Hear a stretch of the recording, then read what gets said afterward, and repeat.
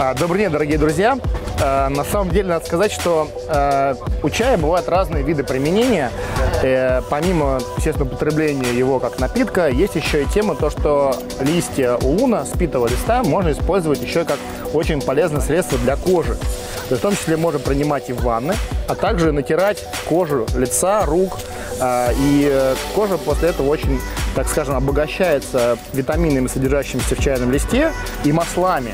И э, пропадает некая сухость кожи. То есть это, это натуральное, получается, очень полезное средство, в том числе и депи- депилирующее, и увлажняющее, и как бы антибактериальное, что тоже очень важно, потому что в чае очень много разных э, микроэлементов, которые помогают бороться с вредными организмами.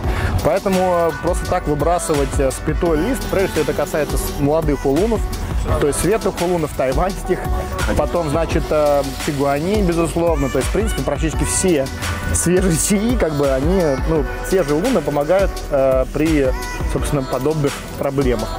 Поэтому я вам желаю такие пить и до новых встреч, дорогие друзья.